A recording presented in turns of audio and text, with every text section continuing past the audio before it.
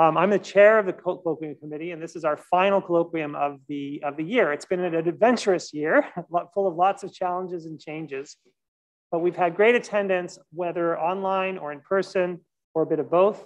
Is it okay? Yeah, and um, so I just wanted to sort of uh, say a few thank yous. Uh, the colloquium committee is uh, Jared Barron, uh, Dick Bond, uh, Ziqing Hong, Sajeev John, Arun Paramekanti, Dick Peltier, John Way, and myself. I'd also like to thank uh, Joanne Magny, who has uh, served as the coordinator for uh, all our administrative work, and also our AV help here, uh, Genesis uh, Hearn, Ahmed Ryan, um, and also Fatima Ijaz helped us uh, with getting the setup for these kind of in-person meetings as we, as we started. So just want to thank everybody. It's been a big team effort. Um, lots of challenges, as I said. there was good response to our, our, our poll about the uh, timing of the colloquium, and you'll hear more about that to come. And uh, this, the committee is already thinking about next year. So I invite all your comments and feedbacks, just send, send, send them along to me. I'd be happy to hear, hear from you. So without further ado, I will uh, pass the mic to Josh. Go ahead.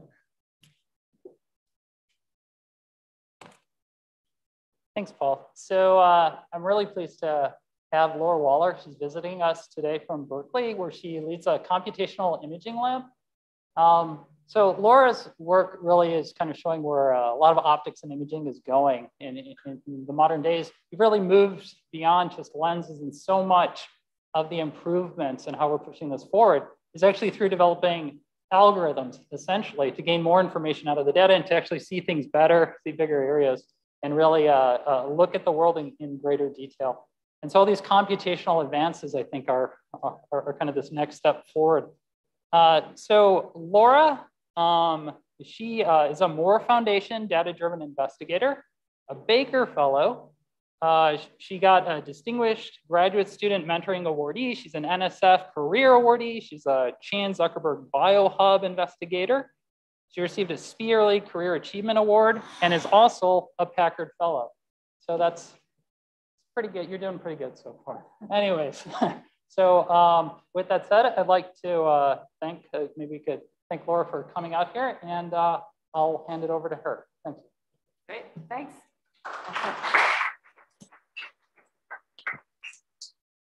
All right, and the whole point of in-person is it can be more interactive, so you're very welcome to interrupt, ask questions.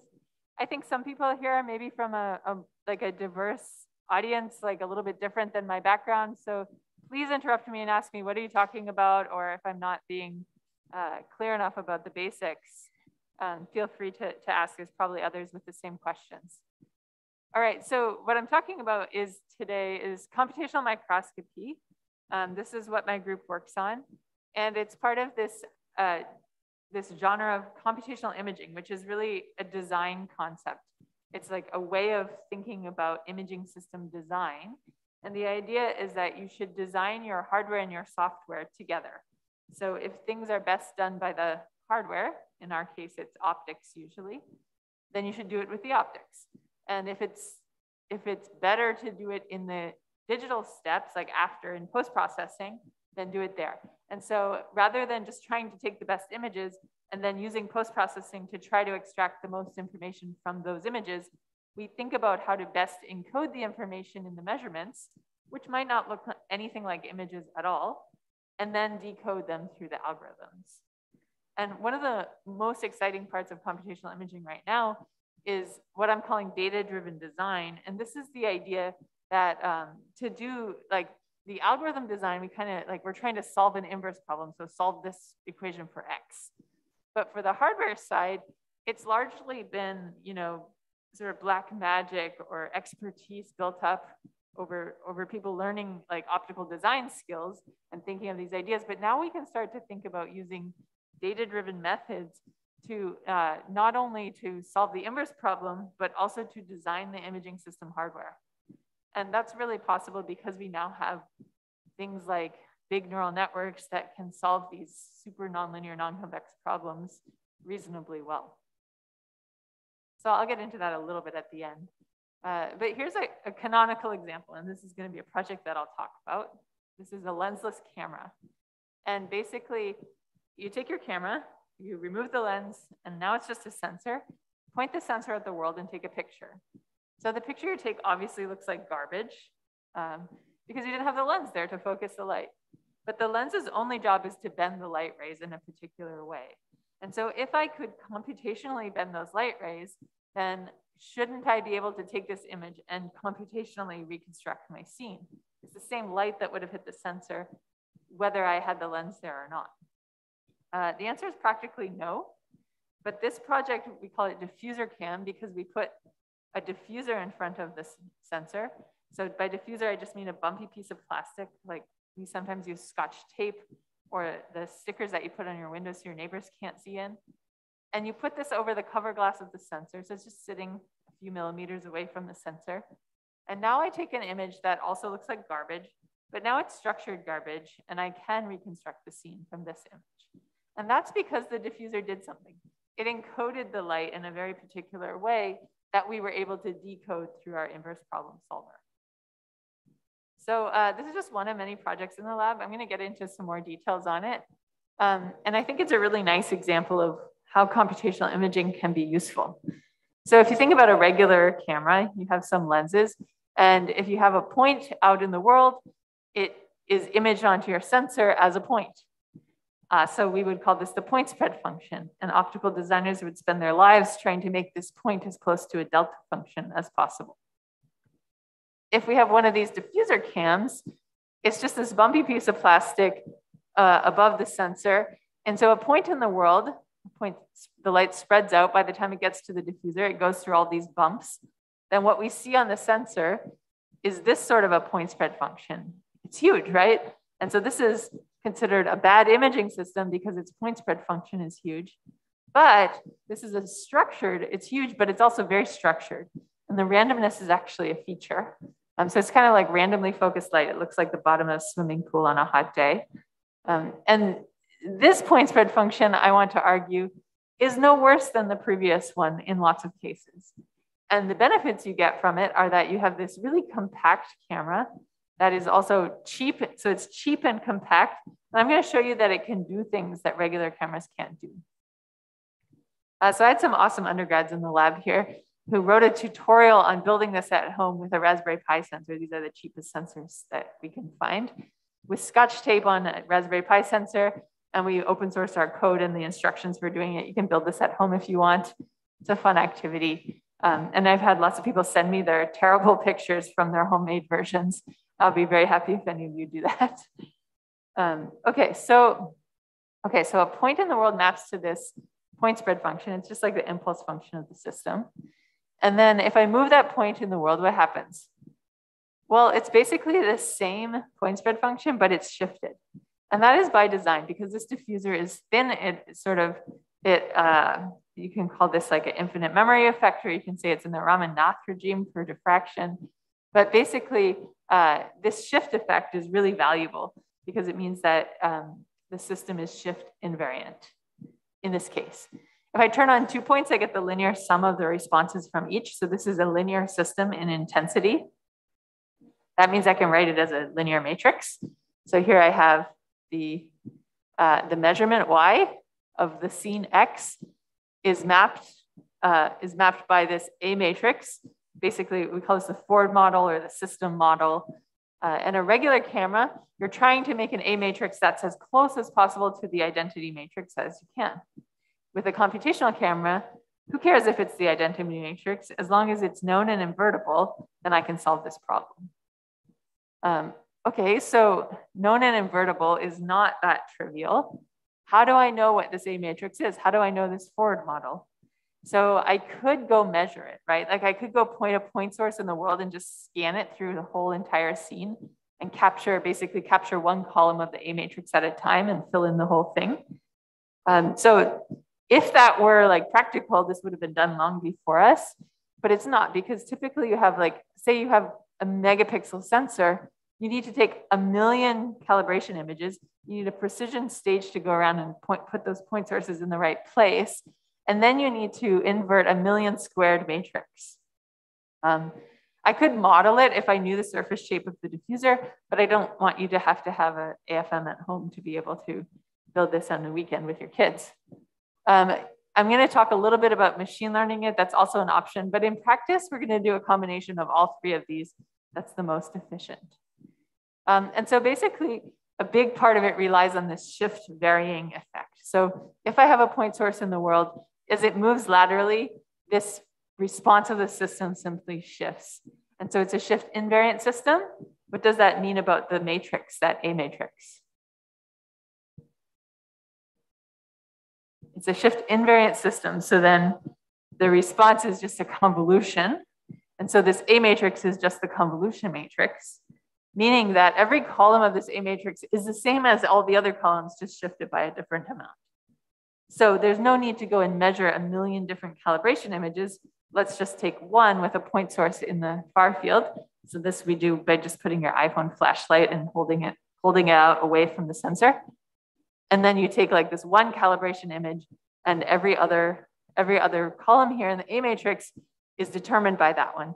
So actually this point spread function falls off the edge of the sensor.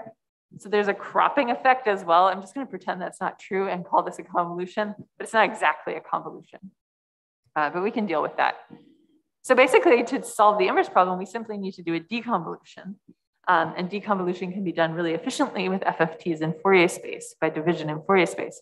So we take our raw data, deconvolve it with that known point spread function that we measured, and we get our recovered scene. We're doing all this with ADMM, and uh, we're using total variation regularization. Halide is a program that my colleague invented to make you make good use of your GPUs and uh, processors without being a parallel processing expert. Here's a prettier image.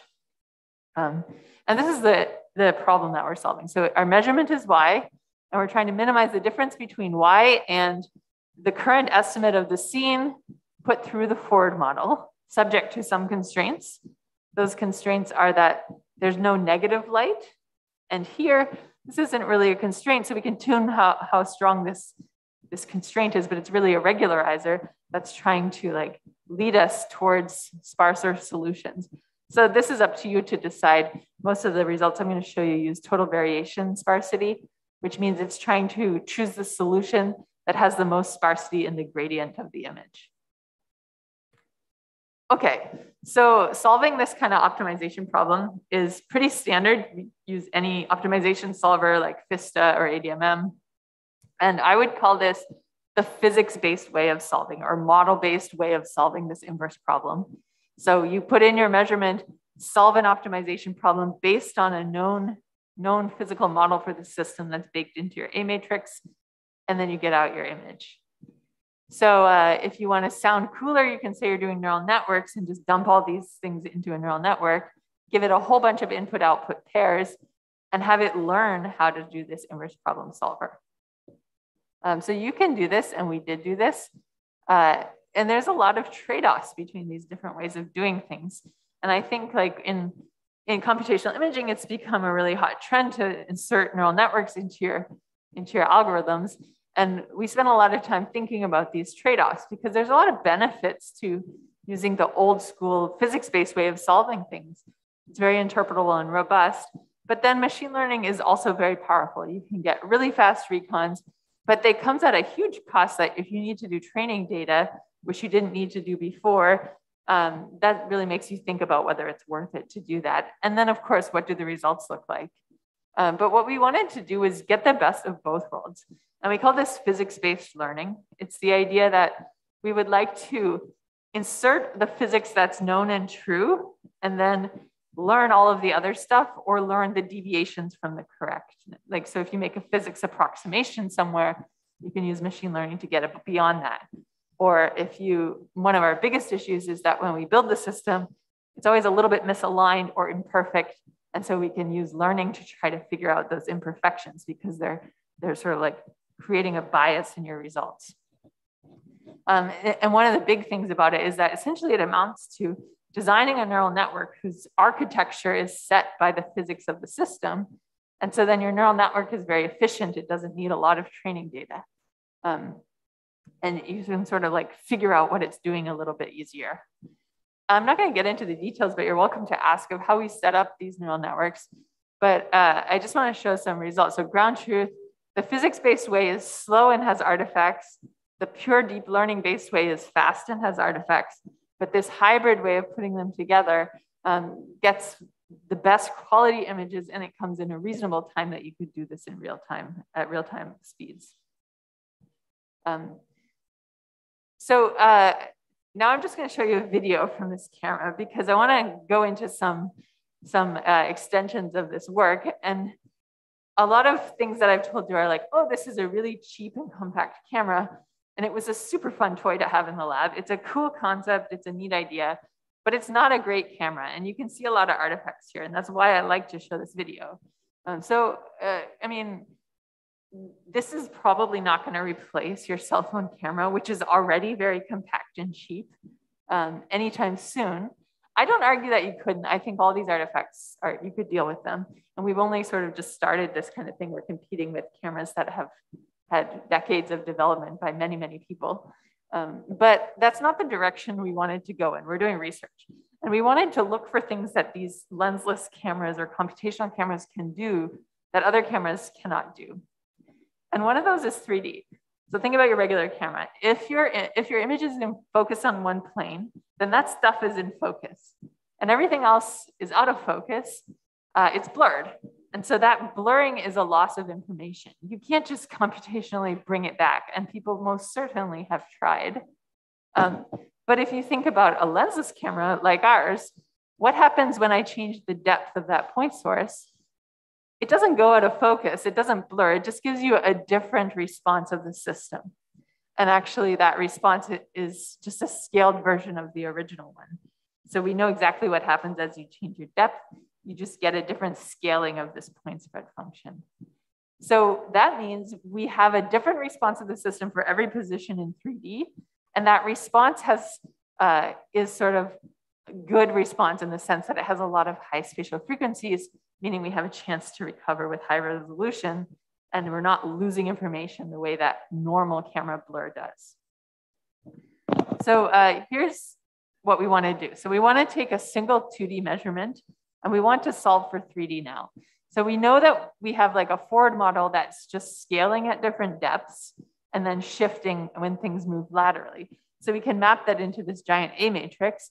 But now I'd like to solve for say a million pixels or a megapixel image at every depth plane for 100 different depth planes. So now I'm trying to solve for 100 times more things than I measured. Well, the shift invariance uh, effect, uh, this convolution approach, basically fixes all of the calibration and computation problems because inverting this sort of, even pseudo inverting this sort of matrix would be insane for reasonable sized images, as I discussed before. But it, now it's still very underdetermined. We have a lot less data than we're trying to reconstruct information. So how are we going to do that? Um, what I'm gonna use is compressed sensing. This is becoming a pretty well-established field now. Um, so if you take images, then you usually do compression. People know about image compression in post-processing. So you take your image and you try to represent it with less data without losing the essence or like the, the information from the image. So uh, the question of compressed sensing is like, if I took a 10 megapixel image, but it only had one megapixel of, of information, then why can't I just capture one megapixel? Why am I wastefully capturing so much extra data? Um, and compressed sensing says that uh, you don't have to collect the 10 megapixels you can, uh, you can collect only one megapixel and use these compressed sensing approaches to reconstruct the 10 megapixels. And, and that's because the image had some compression capability, meaning it was sparse in some way. Question?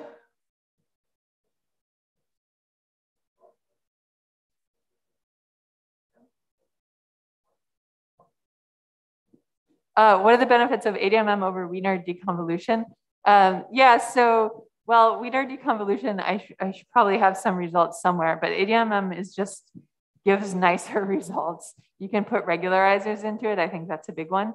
So for the 2D images I showed, um, you can use regularizers as like denoisers or de-artifactors, and that makes a big difference in the image quality. Um, so you can also like play around with adaptive, like update, sort of like not having your noise destroy you as easily as with Wiener filters. But certainly you can do Wiener filtering if you have really good data with low noise. Um, any other questions? This is a good chance. All right, so I'm talking about compressed sensing and so this is the idea is that we're gonna take less data and then we're gonna solve this underdetermined problem. Um, and the reason why you can solve an underdetermined problem exactly is that you, you're inserting a sparsity prior. So you know that the solution is sparse. So you can prove that if you solve it this way, that um, and the solution is sparse, then you're going to get the right answer. So here's an example that our system is amenable to this. So we have a raw image, our reconstruction, and I'm going to simply delete 80% of the pixels. So take the raw image and delete 80% of those, randomly choose 80% of the pixels and just get rid of them. And from the 20% that it's left, I can still reconstruct the image fairly nicely, even with 10% or even 2% of the data is enough to figure out what's going on in the image. Um, and the reason why we can do this in this system is because it does multiplexing. And by multiplexing, I mean a point in the scene maps to a lot of pixels on the sensor. And so, uh, so when you delete some of the pixels on the sensor, you still have information about that point in the scene. Um, Okay, so you would never take a 2D image and then delete pixels from it. But what we are actually going to use it for is to take the 2D image and reconstruct the third dimension from it. So we take a single 2D image here and then reconstruct 3D. And this is the 3D reconstruction of this little leaf and it's spinning. So you get a sense of the 3D information. Um, and I say 128 times more voxels for free because we, we reconstruct 128 depth planes at full resolution um, and to get this image. Okay. So I think this is really exciting, particularly for microscopy, because in microscopy, when you want to do 3D imaging of large volumes, you basically have to trade time. So you're, if you point scan, for example, like a confocal microscope will scan a point through all positions in 3D, then if you want to do high resolution across a big volume, that means you need to image more voxels. And the more voxels you need to image, the longer you need to take to capture. So you can't really do like live biological imaging with this kind of thing. When we talk about a compressed sensing system, it really like the time is going to scale with the sparsity. So if your sample is just, you know, a few beads floating around in dark space or like a little organism that's swimming around a big volume, then you can get away with having very high resolution across a very big volume uh, without capturing a lot of data. Okay, so if you think about like confocal or structural illumination microscopy light sheet, um, light field was like the original single shot 3D method for microscopy that people got really excited that you can take um, a single image and then reconstruct 3D information from it. Uh, but the way they achieved the 3D was by drastically cutting the lateral resolution. And so in photography, that was sort of uh, a better trade-off than in microscopy, where the whole point is to get higher resolution. So people just aren't willing to give up that resolution by factors of 10 or more, the way you would have to. Um, so uh, this diffuser cam idea is always single shot. So it's always like high speed. It's whatever speed your camera is. But the, uh, the, the number of voxels you can reconstruct, which is called the space bandwidth product, is depends on how sparse the sample is. And so you can play this game of trying to get, a, get more for free. Okay, so one of the big applications we've been pursuing on this is neural activity tracking. And uh, I work really closely with Hillel Adesnik's lab in neuroscience. They study mice. And the idea was that this camera is compact and lightweight, meaning we can, we can head mount it on these mice so they can run around a maze and we can watch which neurons are firing at which times and we can design it to have single neuron resolution. Uh, it's also, we haven't done it, but you could take these, it, since it's just a sensor, you could take these microscopes and just tile them and put a whole bunch of them together to get at larger areas or larger volumes, um, which I think could be really exciting. And it's something you just can't do with a regular microscope where you have a huge objective lens that's much larger than your sensing area. So uh, this is a slightly different system, but this is kind of like the idea of what we're trying to get at. This is a zebrafish. And here you can see the two side lobes of the zebrafish's brain. And so we're, we're plotting each point is the 3D position of a particular like neural thing. Uh, and the colors over time represent its activity, that neuron's activity over time. the zebrafish isn't doing anything exciting. So Hillel's lab uh, now works on like doing real experiments where, you know, they show it a video of some stripes moving and see which neurons fire. Um, this is just showing the, the technology. So we built it all into this flat cam version where you have just the sensor with a diffuser on top. We're doing fluorescence here. So the neural activity tracking, when the neuron fires, it fluoresces with a particular color. And so we need some fluorescence filters in there, which were actually kind of complicated physically to get into this compact package. But now you can see the zebrafish, you can see individual neurons firing over time. Okay, the last example, this is a water bear, and this is on a head-mounted mini scope version of our diffuser cam. So you see the raw data here, and then each frame is used to reconstruct a 3D, uh, 3D map of where this, these things are like naturally, or designed to be fluorescent. It's like a little caterpillar. You can see its legs there in a couple different views. All right, so I want to talk a little bit more about the details of this, which I think is the most exciting part in the computational imaging world is that we started out with this opportunistic imager. So we grabbed a diffuser off the shelf or you use scotch tape or privacy glass sticker. And we got these like random PSFs. And the randomness is essential for the compressed sensing. The distributed nature of the point spread function is essential for doing compressed sensing. Uh, but the problem with this is that all these areas in between all the random lines are like sort of like background light that make washes out the whole image, especially when you have an extended scene. So piling all of the light into one spot is actually the ideal uh, point spread function in terms of SNR, but you can't do any compressed sensing with this. And when you go off focus, uh, this lens creates a big, a big blob, which is a terrible point spread function for deconvolving. Um, so, okay, so then you could use an array of lenslets, like uh, an array of microlens arrays, uh, a microlens array. That this would actually be called Fourier light field microscope. Um, and the problem with this is that when I shift that point source in the space, in the, in the image space, then what happens is you get the point spread function shifts. And when it shifts by a certain amount, it's essentially almost the same point spread function as originally. So you get this periodicity uh, basically like these two points are kind of ambiguous because they have almost the same response of the system. So this is bad. Uh, and in Fourier light field microscopy, they just said, we're just gonna only use this large of a field of view, whereas we wanna use the whole field of view. So what we basically came out with is randomly spaced microlenses. So the randomness enables like avoiding this degeneracy.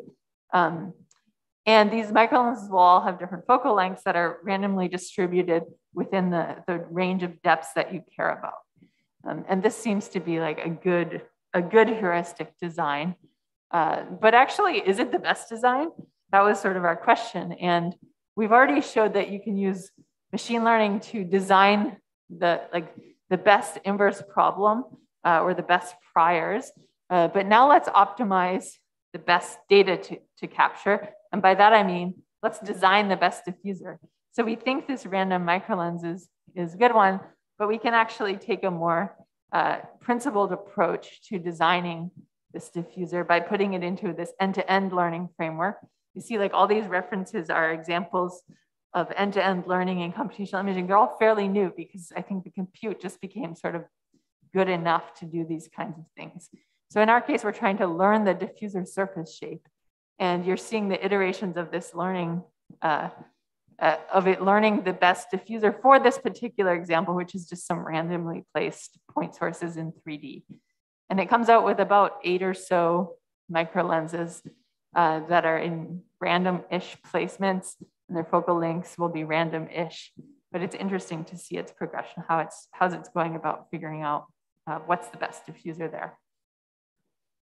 Okay, so I still have some time. Uh, and I wanted to go into one other project that's perhaps uh, it's older project, um, but it might be useful in some real world situations, people doing imaging. Um, and it's a great example of computational imaging. So this is our, we call it the LED array microscope. We copied the original design from a group at Caltech.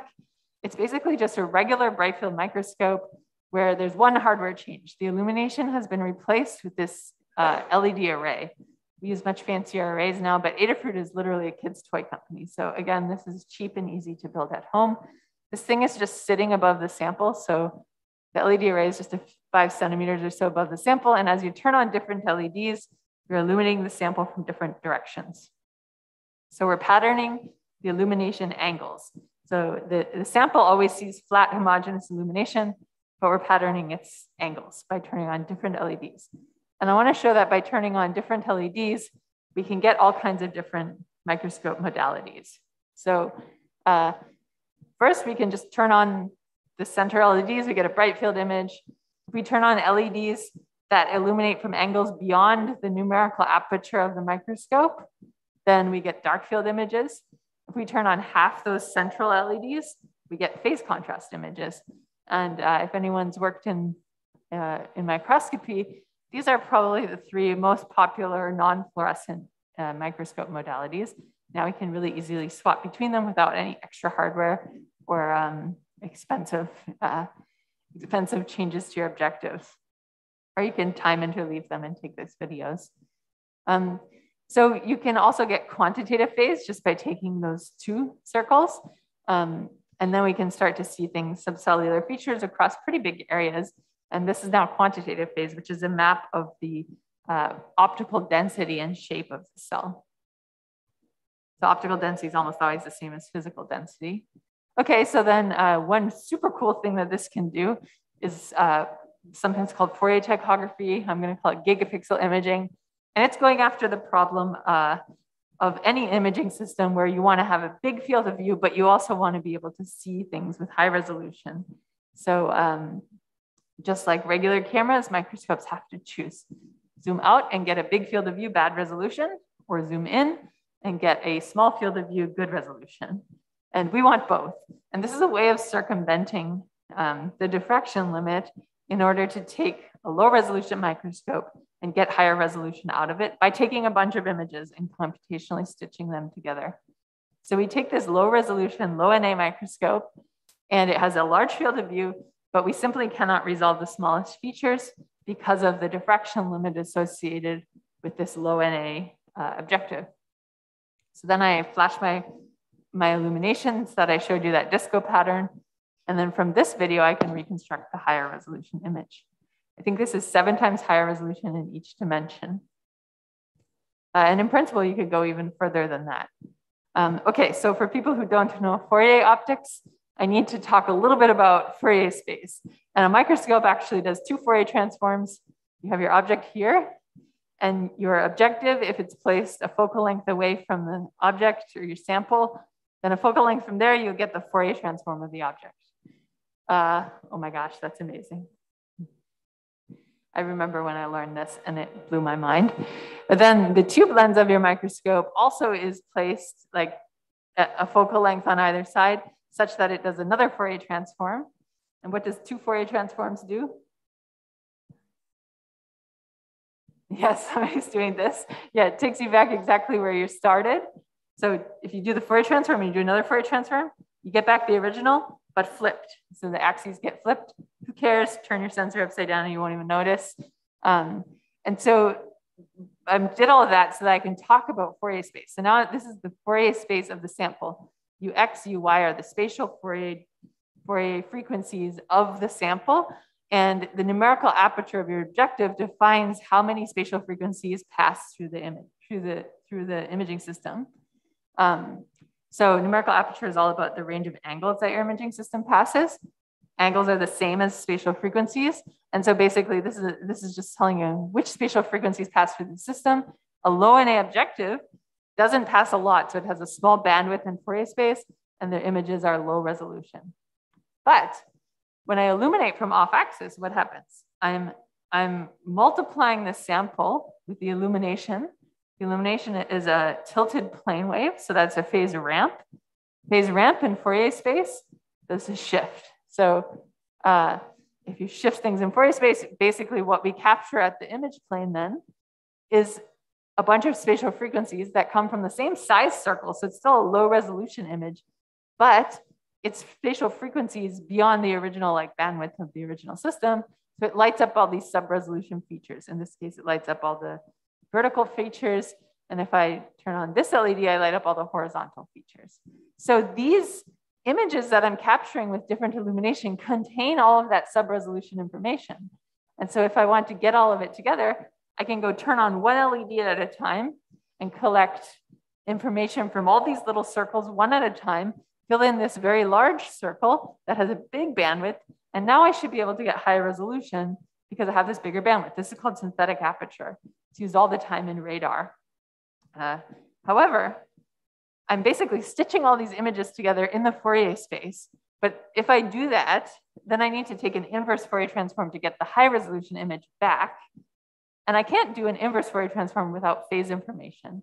So the fact that I was only collecting intensity information at my sensor, I only see the energy or like the absolute value squared of the complex field, means that I can't do this yet. So I need to do this synthetic aperture plus a phase retrieval. So I, I need to recover the phase of this X in order to be able to do this inverse Fourier transform. So these, these circles are all overlapping and that overlap allows us to solve for the phase and do this uh, Fourier space stitching. So we can write all of this as a gigantic optimization problem, solve for the Fourier uh, complex field. Uh, we actually solve for this P, which is the pupil function. This, is, this represents the wavefront aberrations in the pupil plane or Fourier space. Um, and they're pretty important to get rid of. So we digitally remove aberrations in the process because it's kind of free to do so. So uh, this is phase imaging, and this is really important in biology because typically cells don't absorb any light, and so their amplitude images just are, they're transparent, and so you can't see the cells in amplitude-only images. So intensity is just amplitude squared.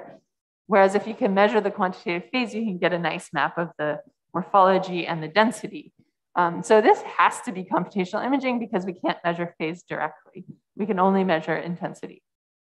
Uh, and now you can work on samples that are non, non-stained or tagged, which is really important for live cell biology. Okay, so how we solve that inverse problem matters. Uh, I'm not gonna get, I'm gonna run out of time, so I'm not gonna get into it too much, but um, the typical way of doing it is with gradient descent, or it's sometimes called Gerchberg-Saxton.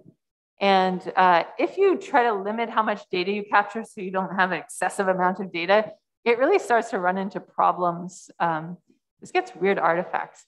If you use second order optimization, you can get a much better uh, result from the same data input data set. Uh, it takes a lot longer, um, but we don't actually know why. So this is a non-convex problem that we're solving with convex optimization. That only works because of that overlap between the circles. Um, but there's not really a good reason to explain why second order optimization methods work better than first order optimization methods uh, except for this video about speed versus accuracy. Um, so I said this is 100 seconds, but this is only a 200 by 200 pixel patch of the image. And we need to do all these patches independently, reconstruct the higher resolution thing, and then stitch them all back together for like our gigapixel final result. Let me show you later that we're gonna do all that like on videos. So 100 seconds was like just excessive. So we went after like best of both worlds type thing, going for uh, fast enough and high quality by doing quasi second order methods. So instead of taking the first derivative and the second derivative uh, in order to update your, to derive your cross function, we're just gonna use like the, the diagonal of that Hessian matrix of the second order. And that works really well. Okay, so now we're getting to a world where uh, we can take these high resolution images across a big area but we have to take time to do them. And so if you think about like how long, say you have a 100 frames per second camera, how many images can I take before the thing has moved so much and there's motion blur that it wasn't worth getting this higher resolution anyways. Um, so you can't do this on all samples. If your samples are slow moving, then you can, uh, but you need to consider time in this uh, if you have live samples. Um, and I just wanna get into some of the ideas that we thought about about trying to speed up the capture process. So I said these, these pupil, these circles have to overlap. So we have to take more data than we're reconstructing. It's the opposite of compressed sensing. Well, so they have to overlap, but because they overlap, we're taking 10 times more data than, than we're like reconstructing. Um, so that's a waste of time. But you can't just get rid of them. So our approach originally was to say like, okay, we're gonna take these half circles of the bright field. That gets us twice the resolution with only three images, so that's good value. And then in the dark field, we're gonna turn on eight LEDs at once, and then a different eight, and then a different eight, until we fill in the whole area. That's what this disco pattern that I showed you earlier was. And that fills in the Fourier space eight times faster, plus every image is eight times brighter. So we get a, a very big increase in how fast we can capture this. Um, and this eight, it seems to be a kind of a magic number of the inverse problem still works. If we try to do 10, it's iffy. Uh, if we do less than eight, it will definitely work. Um, and I think that speaks to like, we had 10x extra data. So now we're reducing it by a factor of eight and it still works because we still have some buffer there for getting the algorithm to work.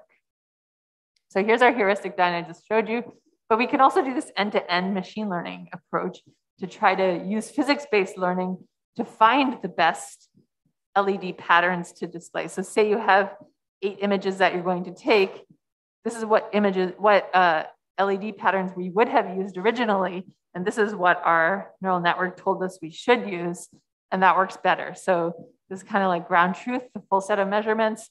And if I reduce the number of measurements to 10, my heuristic approach starts to fail, but this data-driven approach does pretty well. And so now we can get away with taking a lot fewer images. Um, and then we're getting into stuff where we can look at live cell biology across a big area and still see things. So this is a cell's gonna divide. You can see it splitting there. Curl up in a ball, and then it splits into four or five cells. And this is the field of view we would have had if we had a, a microscope with this resolution. Um, but actually we get this whole much larger field of view at that resolution because we're using this method.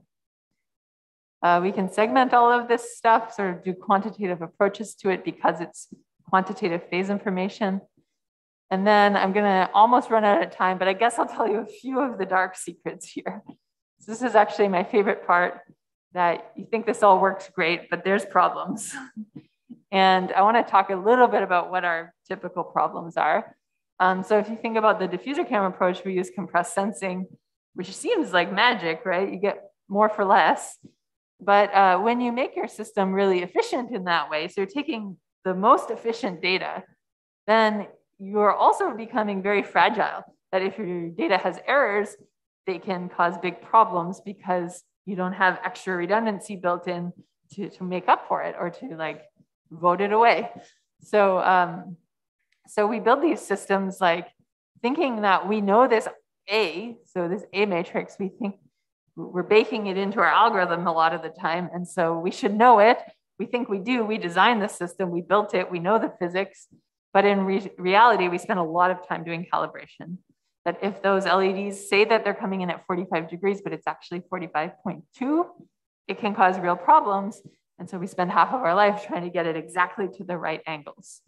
Um, and I argue that a huge theme of our lab is to try to make these systems replicable so that you can build it in your lab or use it at home and without too much trouble. And if the whole theory all is beautiful, but you can't, you know, put the duct tape in the right way to hold up that LED array at the proper angle, and you don't know only one postdoc in the world can align the system, it's not very useful in practice. And so uh, we wanted to go after like ways of doing calibration that don't involve an expert postdoc. Um, and so in this particular example of the LED array, the problems that we ran into were aberrations in the image. That's not because the LED array wasn't perfect, it's because the sample would be like floating in water and then the water surface would refract the light to a different angle. And we need to account for that or we're gonna get problems, the sample induced problems. And here's basically like if we didn't calibrate our digitally calibrate our images, this is what we would look like. It totally defeats the purpose of getting higher resolution if you don't have it calibrated. So like these are the calibration parameters basically up here that mattered for this setup. Uh, and Regina hates calibrating. She doesn't want to do it. And so let's do it in the algorithm. So instead of just optimizing for X, we're gonna optimize for X and jointly optimize for theta, which is the calibration parameters. So now our A matrix is actually parameterized by these theta calibration parameters that we can also solve for. And particularly if we have 110% more data collected than we need to reconstruct, then we have some room there to use that information to solve both for X and for theta. And we can impose a lot of constraints on those calibration parameters. for example, the LED positions are always close to what they should be. So we can force them to be like pretty close to what they, we thought they were. Um, here's an example where this to show that, so the raw image, the reconstructed, recovered phase, and here's the aberrations, this is the, the wavefront in the pupil plane. If you go to a different part of the field of view, you get a different aberration. And since we're doing this all patch by patch, it's no problem to do these space varying aberrations and then digitally correct them. All right, so last is that we can do all of this in 3D. That when you illuminate from different angles, you not only shift the Fourier space, but if your sample is 3D and thick, you're actually projecting through the sample in different ways. Much like tomography, you can think about putting this all into 3D. Um, you can treat the whole 3D problem like a giant neural network. So it has all the problems of a giant neural network. Um, we don't know when it's always when it's going to work, but it's pretty, you can start to study it heuristically and figure out when it will work. It basically works if you have enough redundancy and diversity in your data. And one thing that's super cool is that it accounts for multiple scattering. That uh, normally when people do these 3D refractive index measurements, they would make some assumption on scattering, like single scattering. So light only bounces once through the sample. Um, if you want to account for multiple scattering, you can just treat the sample as if it were a, a, bunch of 2D slices, and there's scattering happening between the slices, which means light can bounce multiple times. So we put that all into the forward model. So this is a combination of the multi-layer method and this Born single scattering method together. And we put all of this into our forward model. And so we can then hope that the inverse problem can solve for, for samples with multiple scattering. So I just want to show you, this is our this is a cell, and I'm illuminating it with from different angles that are spiraling outwards. And this is just the Fourier transform of the captured image. And like something really obvious going on here, right? These two circles.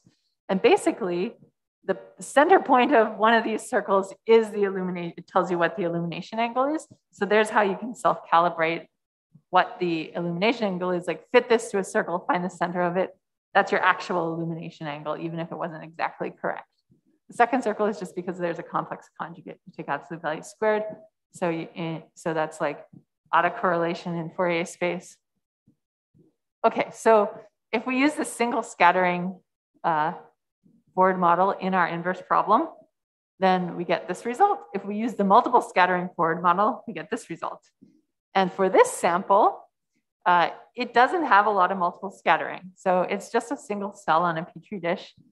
And these two circles are actually a hallmark of single scattering. All of the, all of the information should stay within the circles if there's only single scattering. So this sample is fairly single scattering, clear two circles. These two results are basically the same. So this is the central slice of the 3D reconstruction given these two forward models. Um, if I take a sample that has more multiple scattering, you can actually see it looks more speckly here. Then its Fourier transform obviously has some information outside those two circles. It can't get there except through multiple scattering. So there's definitely some multiple scattering going on here. And now when we use our multiple scattering inverse problem, uh, we get a much nicer result than the single scattering. So this is very low, high pass filtery. And if we do even more scattering, we really lose the two circles altogether and we get an even bigger difference between here. And these images are much more correct. So now we can look at samples like this uh, C. elegans, where we can actually image inside this worm. This is the central slice of the 3D reconstruction. The whole reconstruction is about 15 gigapixels here. And this is something we never would have been able to image this stuff before because the sample itself is scattering the light um, and that, that means there's a lot of multiple scattering going on, but because we can digitally undo it, then we can now actually like visualize the inside of this sample where otherwise it would have just been blurry. Um, and so this is the end of my talk. And I just want to stress some of our key themes around reproducibility. And with computational imaging, I say that reproducibility doesn't just mean putting your code online for free. It means designing the system to be accessible. So off the shelf hardware, cheap, simple, easy to build, easy to align, easy to do the reconstruction. We're not quite there yet in some cases, but this is like where we're going and what we're trying to do. And uh, to that end, we're always very eager to collaborate with people who want to try these methods. Um, uh, and I should say that we actually have this little company that sells fancier LED arrays that just click into the condenser aperture of your microscope uh, because we want people to be able to use them easier. And this is not something you would uh, get made on your own. So that's the end. Very happy to take any questions. I'd like to thank my students who did all of the work and all of our collaborators and my anti-collaborator who's in the hotel room, probably doing this to my sister right now. So happy to take questions.